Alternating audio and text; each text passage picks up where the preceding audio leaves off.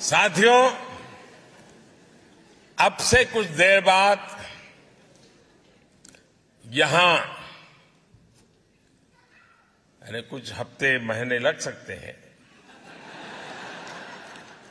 यहाँ सरजी प्रीफेक्चर में भारत के महान संत तिरुवल्लुवर जी की प्रतिमा स्थापित की जा रही है।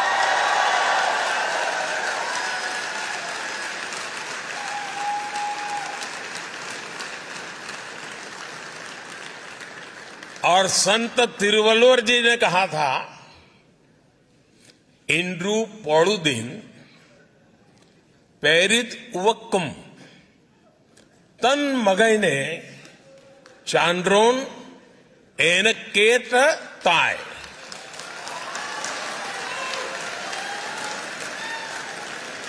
तमिल भाषी वाले मित्र तो समझ गए, लेकिन औरों को बताता हूँ। इसका इसका अर्थ बहुत ही मार्मिक है। और तिरुवल्लुवर जी ने सदियों पहले ये ज्ञान हमें दिया है। इसका मतलब है, जब एक माँ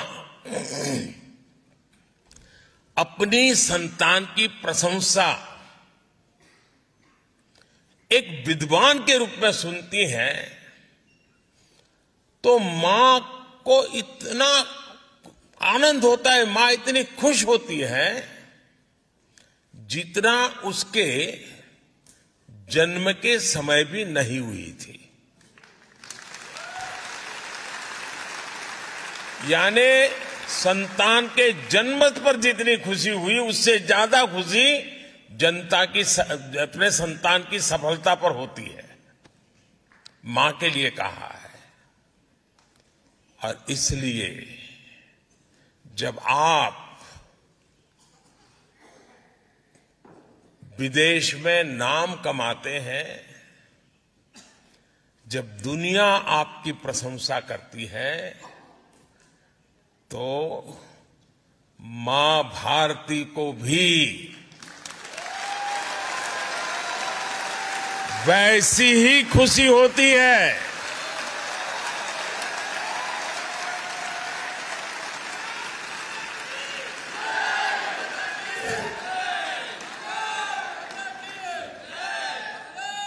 विदेशी धरती पर माँ भारती को अपने हृदय में रखने वाली माँ भारती के हर संतान को मैं भारत का ब्रांड एम्बेसडर मानता हूँ। आप भारत के राष्ट्रदूत हैं। मैं जानता हूँ कि भारतीय कहीं भी रहे, लेकिन अपना दिल भारत के लिए भी धड़कता है।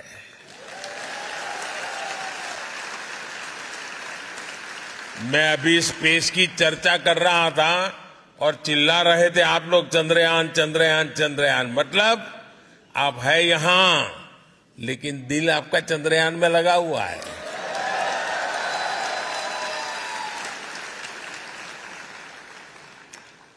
इसलिए ही फ्रांस सहित पूरी पूरी दुनिया में फैला हुआ हमारा जो इंडियन डायस्पोरा है, उस इंडियन डायस्पोरा ने रेमिटेंस का नया रिकॉर्ड बना दिया है। आप लोगों ने नया रिकॉर्ड बनाया है। बताऊँ? बताऊँ आपको? आपको पता नहीं है ना हाँ। कोई बात नहीं, आपके पराक्रम के गीत भी मैं गाता रहता हूँ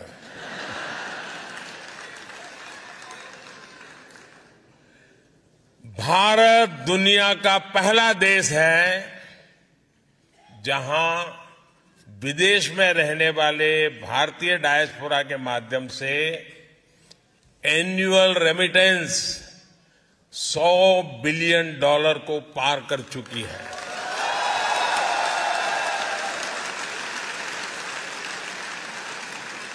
और खुशी की बात है कि आपका ये योगदान निरंतर बढ़ रहा है।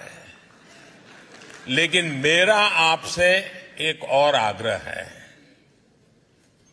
मैं आपसे आग्रह तो कर सकता हूँ ना?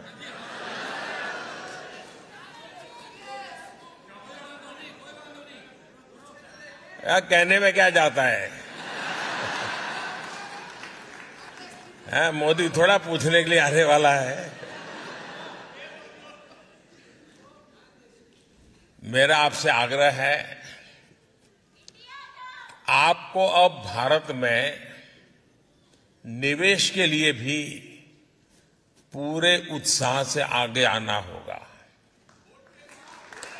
भारत अब अगले 25 वर्षों में विकसित होने के लक्ष्य पर काम कर रहा है।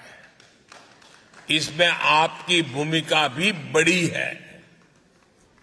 आप जिस भी सेक्टर में काम कर रहे हैं, उससे जुड़ी संभावनाओं को ज़रूर भारत में एक्सप्लोर करें।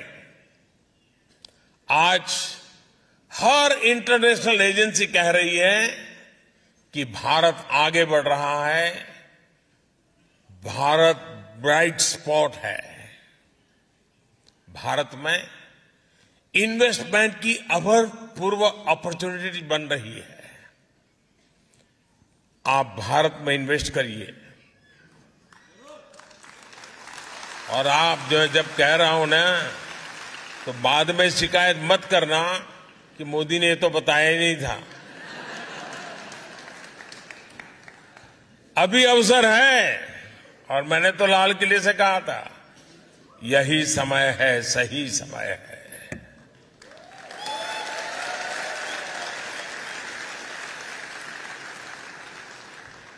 और जो पल जल्दी पहुंचेगा, वो ज़्यादा लाभ उठाएगा। जो देर से आएगा, वो इंतज़ार करेगा। अब मौका लेना, कितना जल्दी लेना है आप पर मैं छोड़ देता हूँ। साथियों इसलिए आइए और भारत में निवेश करिए।